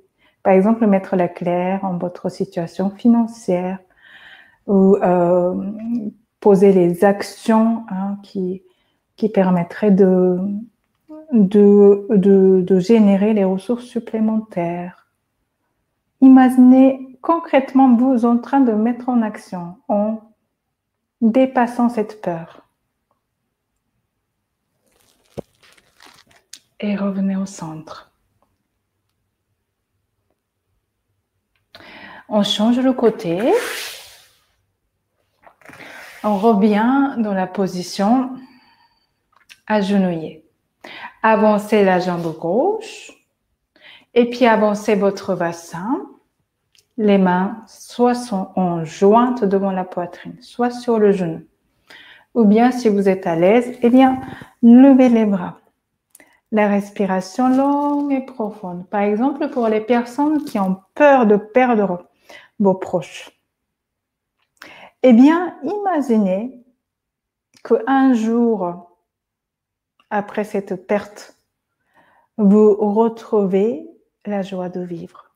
Peut-être, vous avez une belle rencontre. Vous euh, commencez à imaginer qu'il peut y avoir la vie d'après. Respirez. Imaginez un jour, vous pouvez remémorer votre belle relation avec cette personne que vous craignez de la perdre, alors que tout en ayant cette personne de l'autre côté, respirez. La respiration longue et profonde.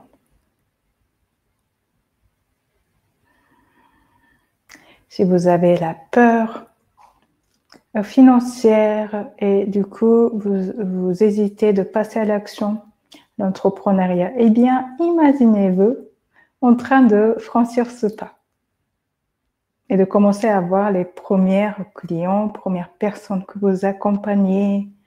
Respirez. Et maintenant, on revient au centre. Déposez les mains au sol. Reculez votre jambe. Reculez légèrement votre bassin et à l'expiration, enroulez votre bassin, enroulez votre dos, regardez vers le nombril. À l'inspiration, déroulez votre bassin et ce mouvement se transmet sur le long de colonne vertébrale. Et regardez vers devant. Et revenez au centre. Relâchez la tête, la nuque. Et puis un petit versement de votre bassin qui également verse votre colonne vertébrale, qui également verse votre cervical. Respirez. Invitez le mouvement de la vie.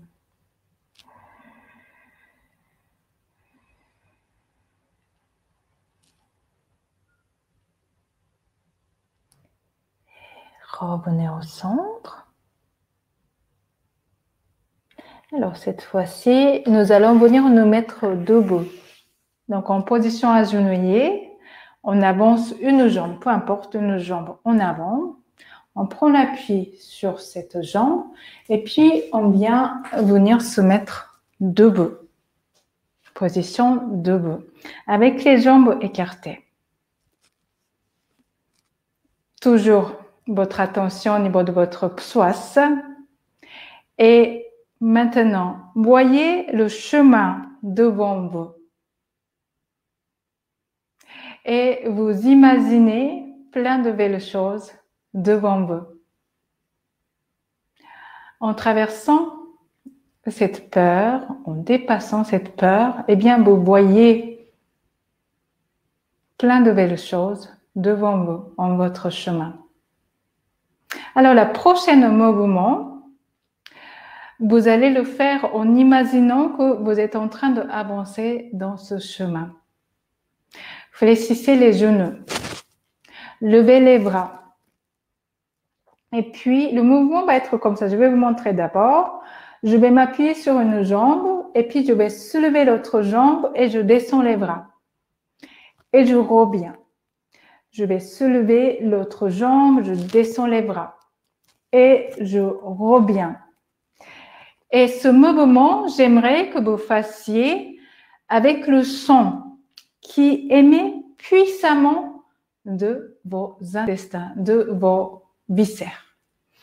Euh, le son ta. Et à chaque fois, lorsque vous levez la jambe et que vous déposez, imaginez que vous êtes en train de puissamment avancer dans le chemin de votre vie. Euh, par exemple, pour les personnes qui euh, pas aller plus loin dans les relations intimes, eh bien, imaginez à chaque fois que lorsque vous déposez la jambe, eh bien, vous avancez euh, dans ces relations merveilleuses et intimes. Allons-y. Donc, vous, vous êtes dans votre situation concrète personnelle. Inspirez. Et allons-y plusieurs fois. Ta! Ta! osez la voix. Ta, ta,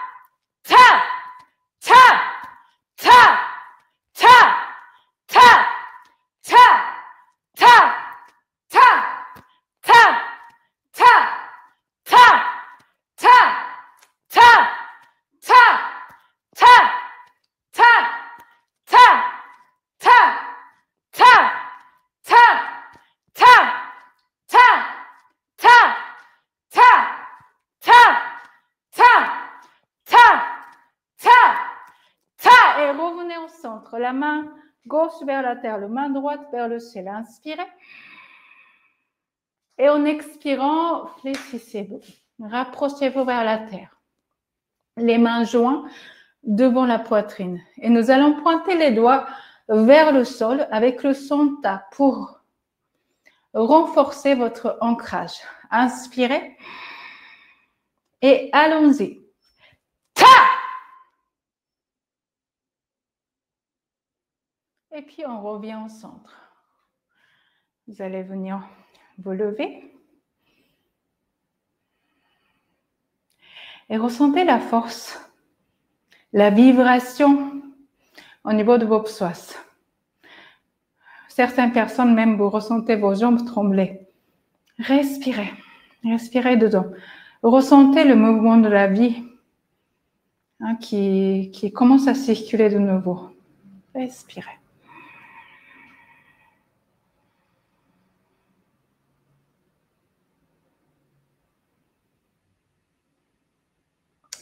Puis maintenant, joignez les mains devant votre front.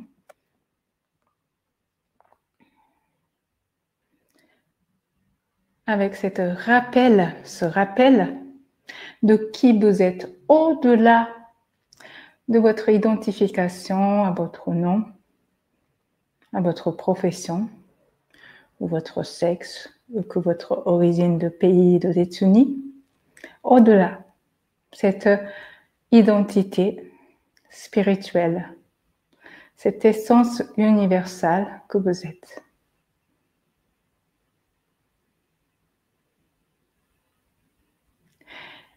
Et maintenant, posez les mains sur votre ventre et souriez à vos peurs si elle est toujours là. Souriez à votre avenir. Souriez à votre destinée. Souriez à votre créativité.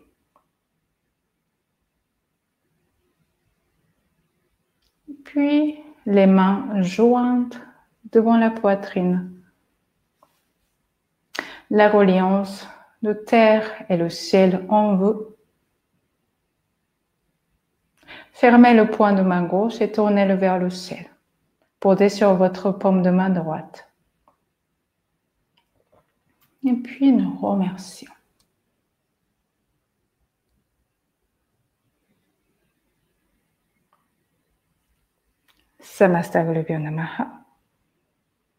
Om Tat Merci. Alors, je prends juste un petit moment pour que vous reveniez. Euh, prenez le temps d'intégrer, de remémorer. Et puis, dans le chat, oui, il y a eu un chat noir qui participe.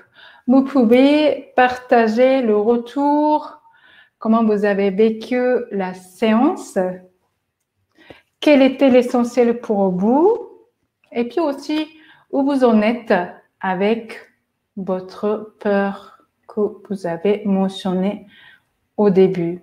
Et puis en attendant votre retour, eh bien, je vais avancer un petit peu et puis après, je reviendrai sur vos retours.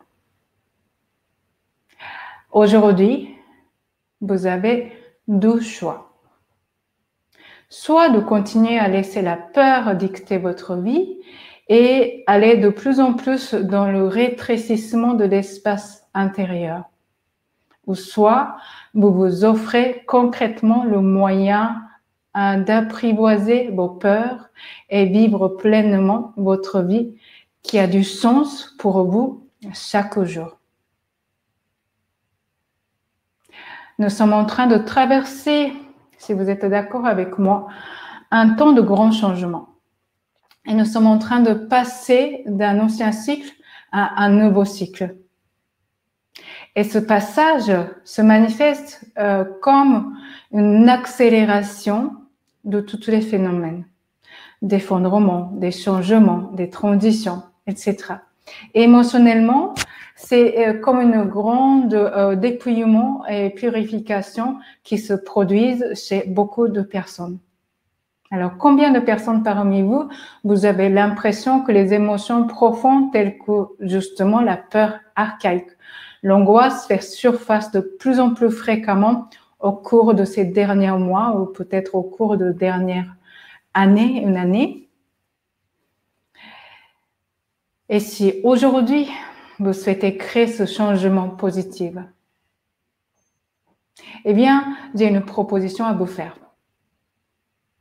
Le Kunda Yoga est un yoga qui porte une attention particulière à notre bassin, qui est la fondation de l'être.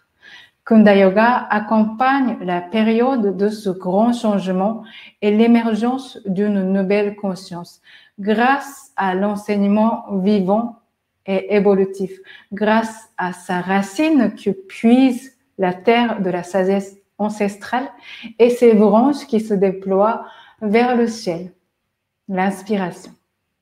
Aujourd'hui, si vous souhaitez vous donner moyen d'avancer dans votre vie et déployer votre plein potentiel, vous avez la possibilité de rejoindre euh, Kunda Yoga Couture.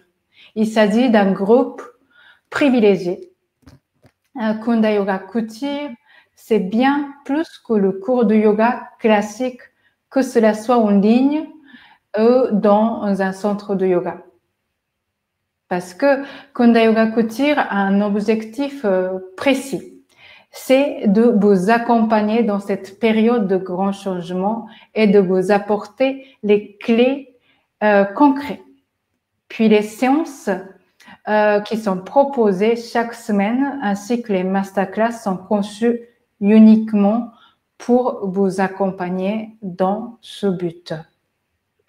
Kunda Yoga accompagne la période de grands changements euh, et c'est une séance euh, par semaine en live.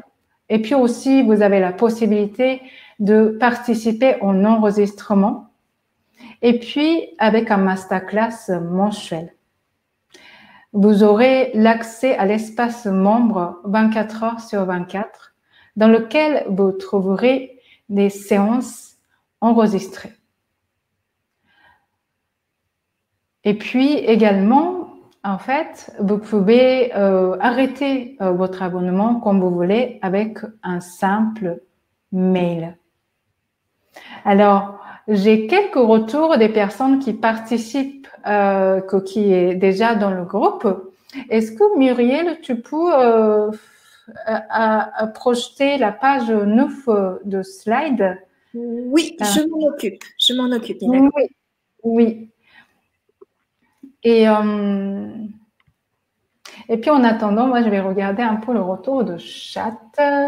J'ai ressenti beaucoup de chaleur et un relâchement de mon psoas.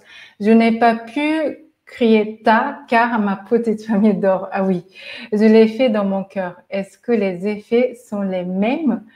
Eh bien, Karine, euh, je te laisse essayer peut-être demain quand tu es toute seule. Essaye aussi la version avec la haute voix. Euh, à mon avis, euh, tu ressentiras la différence.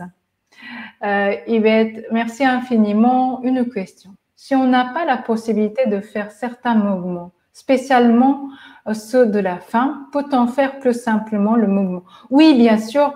Par exemple, au lieu de lever la jambe très haut, euh, tu vois comme ce, attends, Yvette, comme ceci. Eh bien, c'est vraiment l'intention hein, qui porte. Donc, tu peux faire, vous pouvez faire le mouvement beaucoup plus petit mais c'est vraiment l'intention. Et puis, c'est vraiment pour mettez l'accent sur le moment où vous posez le pied en vous visualisant avancer. Voilà. Alors, euh, Gwen, pour l'instant, l'impression très désagréable puisque la nausée persiste, mais j'ai apprécié la présentation et la pratique. Gwen, dans ce cas-là, je t'invite vraiment à, aussi à, refaire l'exercice euh, en replay. Vous aurez le replay. Euh, parce que ça veut dire que là, pour ce soir, tu as commencé à ouvrir la porte. Et, du coup, le processus, ben, il va poursuivre et, et en progression. Donc, merci beaucoup pour ton retour également. Euh, Soraya, j'ai adoré votre cours savoureux. Alors, euh, donc du coup, ce sont les deux euh, personnes qui sont dans le groupe qui nous a donné le retour. donc, bah, je vais le lire. Bonjour Minako. Donc, Anne qui habite en Québec et qui enseigne la musique. Donc, elle m'a écrit il y a quelques semaines euh, donc après un mois et demi euh, d'avoir rejoint un groupe, je déménage dans 18 jours et j'ai un nouvel emploi en plus de mes élèves. Et ça a bougé beaucoup depuis que je participe au cours avec toi. Gratitude infinie. Et puis, il y a Nathalie qui participe au groupe depuis euh, Colombie. Nathalie, en fait, elle travaillait dans la finance à Paris. Et puis, elle a décidé de changer la vie avec son conjoint et sa, petite fille. Et maintenant, elle vit en Colombie, euh, dans son pays natal, et elle a un projet de éco-lieu, etc. Euh, donc, excellente séance après la pleine lune d'hier qui m'a beaucoup chamboulée. Je suis sortie de la séance plus ancrée et détendue. Ma respiration est plus fluide, comme si on avait nettoyé l'intérieur des canaux en profondeur. Namasté. Alors, donc aujourd'hui, vous aussi, si vous souhaitez rejoindre euh, le groupe et si votre choix est de vous offrir le moyen concret pour fluidifier votre vie et vous reconnecter à votre force intérieure, eh bien, vous pouvez rejoindre dès ce soir, dès maintenant, Kunda Yoga Couture. Et on se retrouve eh bien, à ce moment-là, dès jeudi prochain pour les séances en live. Alors, euh, maintenant, est-ce que vous avez des questions?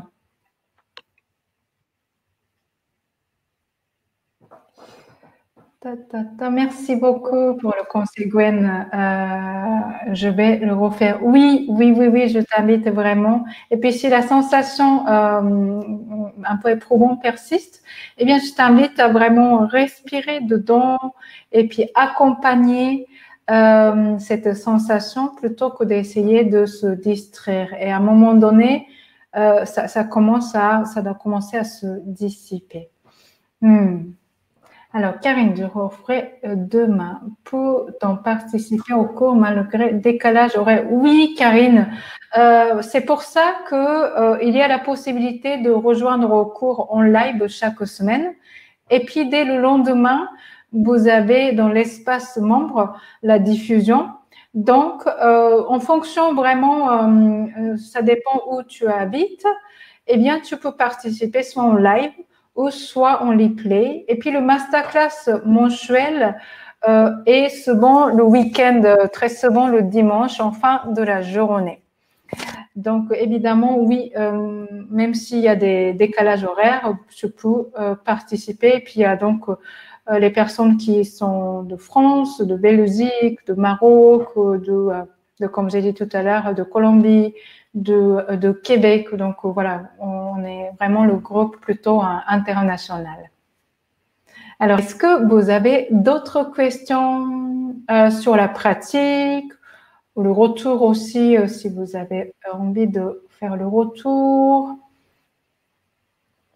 Euh, Il y a Pacrette qui dit merci de m'avoir permis de découvrir que mon corps a pu expérimenter ces exercices malgré de prothèses euh, totales des Ah, ça c'est super, même si j'ai eu des difficultés. Merci. Merci beaucoup, Paquette. C'est une très, très belle euh, retour. Et puis, merci d'avoir expérimenté cet exercice. C'est vrai qu'après ce genre d'opération, nous avons besoin de prendre ce temps de euh, explorer notre corps avec cette nouvelle organisation. Et puis également, nous avons besoin de découvrir notre corps de nouveau et de l'apprivoiser. Donc, merci beaucoup, Pacrette. C'est une très, très belle retour qui me, qui me touche et, j'offre aussi une pensée particulière à une amie qui est thérapeute également, qui a récemment mis les prothèses. Oui, merci beaucoup. Alors, est-ce qu'il y aurait d'autres euh, est-ce qu'il y aurait d'autres euh, retours? Corinne? Ah oui, il y a Karine qui, qui dit Je vis à la Réunion. Réunion, je pense que vous avez trois heures de décalage. C'est ça C'est comme toi, Muriel Deux, heures. il n'y a, aucun souci. Euh, il n'y a aucun souci. en fait, à savoir, le cours en live hebdomadaire a lieu tous les jeudis à 12h30 l'heure Paris. Euh, donc, c'est 12 heures d'avance ou 12 heures de, oui. en arrière? Donc, c'est à quelle heure? À 12h30 à Paris? C'est à la Réunion 14h30 à la Réunion. Voilà, 14h30 à la réunion. Donc aussi, voilà, il est tout à fait possible de organiser. Juste si je peux apporter une petite précision, euh, avant la séance de yoga, ça serait bien d'éviter de manger euh, deux heures avant. Euh, donc ce jour-là, mais éventuellement, vous pouvez manger des fruits jusqu'à une, demi-heure avant. Donc par rapport à, l'horaire de déjeuner, peut-être on peut, voilà, tu peux faire un aménagement ce jour-là. Et puis Corinne qui dit, il y aura un, il y aura-t-il replay J'ai beaucoup de coupure et je n'ai pas. Ah oui, d'accord. Bah oui, oui, euh, ne, ne, ne, vous inquiétez pas, Corinne. Euh, le, le, sera disponible demain, c'est ça? Dès demain, dès demain, oui. Dès demain, dès demain. Euh, et puis, à quel rythme faire cet exercice comme nous le sentons? Ceci car malheureusement, je ne peux pas me joindre, d'accord, à vous pour le moment. Peut-être une séance privée si euh, j'ai des questions. Euh, oui, oui, oui, à ce moment-là, si tu, tu, tu, penses que la séance privée est plus adaptée, euh, oui, éventuellement, euh, vous pouvez m'écrire, euh, m'écrire par mail, et puis comme ça, on peut en parler. Hmm. Est-ce qu'il y a j'ai écrit mon ressenti plus bas dans le chat. Merci. Le prix est affiché et bien mensuel. Oui, c'est ça, c'est le mensuel que vous pouvez euh, arrêter euh, quand vous pouvez, euh, juste par un simple envoi de mail. Hum, hum, hum, alors, mon emploi de temps ne me permet pas d'être disponible le jeudi à cette heure-ci. Est-ce qu'il est possible de voir le cours à un autre? Évidemment, évidemment, c'est pour ça qu'il y a l'espace membre euh, dans lequel vous aurez tous les cours euh, qui, va être ajouté chaque semaine. Donc, même si euh, vous vous n'êtes pas disponible à cette heure-ci en live, eh bien, vous pouvez le pratiquer en, enregistrement. Et puis, si vous laissez euh, dans le commentaire les questions, les retours, eh bien, moi, je fais à peu près le tour tous les semaines et puis je, je vous répondrai.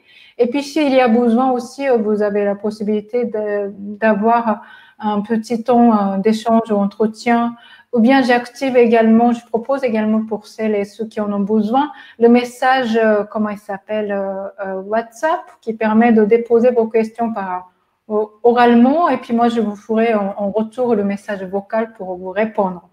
Donc tout ça, euh, ça fonctionne assez bien même pour les personnes qui suivent en enregistrement. Par ailleurs, là en ce moment, par exemple, il y a à peu près peut-être 20% de personnes qui suivent en direct et puis euh, 80% de personnes qui suivent en enregistrement et qui fonctionnent euh, très très bien. Et puis c'est aussi une occasion pour vous, le masterclass qui vous est offert en tant que membre de Kondayoga Couture, qui a lieu euh, le week-end, souvent le dimanche, vers le fin de la journée, qui permet de se retrouver, même les personnes qui ne sont pas disponibles euh, dans les cours hebdomadaires en live. Et, et donc voilà, donc euh, euh, il y a aussi l'occasion de s'échanger à vive voix finalement mensuellement. Euh, alors, y aura-t-il un automassa de psoas dans certains cours? Oui, oui, oui, je peux, euh, je peux euh, proposer des séances merci pour une magnifique idée, automassage de psoas dans certains cours. Et d'ailleurs, j'ai déjà fait deux séances de, de cours autour de psoas que lorsque vous, vous, si vous rejoignez ce soir dès maintenant, au groupe, eh bien, vous aurez également euh, l'accès aussi au cours de passé. Donc, euh, euh, je travaille, j'ai pas mal travaillé sur la visualisation parce que le fait de pouvoir visualiser, c'est ça qui vous permet d'être en contact avec cette partie de corps en particulier et vous pouvez entrer en dialogue avec, par exemple, avec vos psoas. Et dans ce sens, bah, ce massage, on peut l'apporter euh, physiquement à, travers vos mains, mais j'ai envie de dire presque, j'ai envie de, je, peux apporter ce massage à travers mes pensées. Et d'ailleurs, dans l'espace membre, j'ai beaucoup de choses parce que c'est vraiment dans mon euh, dans mon euh, domaine et, je suis passionnée. J'ai euh, récemment ajouté dans le Globalic ressources une vidéo fascinante de de c'est pas de psoas mais de fascia qui réagit justement à notre intention intention thérapeutique. Et que sans avoir des mouvements justement de massage mais juste par l'imposition de main et par l'intention thérapeutique eh bien on voit dans l'image que le psoas euh, se mobilise et que se régénère. Euh, alors les cours sont, euh, sont tous axés sur le. Sont tous. Euh, ta question, Corinne, est-ce que tous les cours sont axés sur le psoas C'est ça? Et si c'est le cas, non, parce que euh, en fait, souvent, j'ai vraiment une mise en mise en accent sur le bassin, mais bah, cet aspect parfois abordé beaucoup plus dans l'état psychologique, c'est-à-dire que cette peur d'avancer ou que ça peut être cette peur de changement. Euh, ça peut être également le focus sur, comme aujourd'hui, certaines parties de corps, que ça soit le muscle ou que ça soit les organes, ou que euh, j'ai fait aussi des séances sur le, les fascias. Euh, et tout ça qui vous permet vraiment de rentrer en contact et en relation intime et globale avec vous-même. Vous pouvez dialoguer avec vos cellules, vous pouvez dialoguer avec vos organes, vous pouvez dialoguer avec tout votre espace intérieur et à chaque fois, notre corps, comme j'ai dit au début, c'est la porte euh, vers notre état émotionnel, psychologique, c'est aussi également la porte de tremplin vers notre évolution spirituelle. Alors, Karine, est-ce que les cours sont euh, compatibles si j'ai de l'endométriose que peut-on les faire euh, lorsque je suis en lune? Alors, d'abord, la première question, l'endométriose. Oui, euh, Karine, je ne sais pas si euh, on se connaissait d'avant ou bien si tu as déjà regardé certains de mes vidéos sur YouTube, mais euh, une de mes spécialités, c'est l'accompagnement des femmes qui sont atteintes d'endométriose. Bien que ce cours n'est pas créé spécifiquement pour les femmes qui ont de l'endométriose comme toi, mais euh, c'est très, très, très bénéfique car bah, vraiment, on a vraiment cette euh, regard qui est tourné. Il y a aussi pas mal de travail aussi euh, avec le, le, le, bassin, l'utérus. il y avait une de séances dans laquelle nous avons libéré les poids. Hein, physiquement, imaginez le, ce poids avec une forme qui est dure et nous, l'avons libéré. et c'est très, très bénéfique pour dans ton cas. Et puis, peut-on les faire lorsque je suis en dune Eh bien, ah oui, c'est une bonne idée, Karine. Euh, ce que je peux faire, c'est que je peux ajouter les séances qui ont été créées spécifiquement pour les phases euh, pendant les dunes, euh, lorsque nous avons dans une période de, menstruation. J'ai déjà des capsules, donc je peux en ajouter dans l'espace membre comme ça. pendant la semaine, quand tu es disposé, eh bien, tu peux aussi pratiquer ces séances-là. Euh, non, je n'ai pas encore eu le plaisir de... Mais bien, euh, ça peut être vraiment une belle occasion. Et puis, euh, pour des personnes qui souhaitent également, vous qui rejoignez un groupe, et puis qui souhaitent un petit entretien de démarrage pour qu'on se fait connaissance et que pour que moi je connais euh, par exemple votre condition physique ou bien euh, ce que vous avez envie d'avancer avec ce groupe, eh bien, je propose également un petit entretien euh, gratuit de peut-être 15-20 minutes.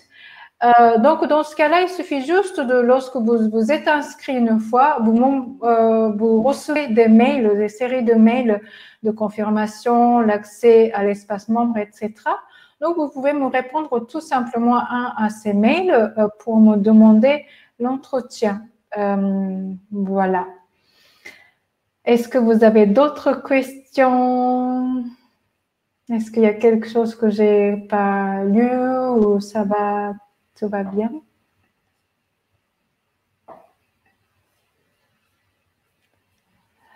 Bon, eh bien. Oui, oui.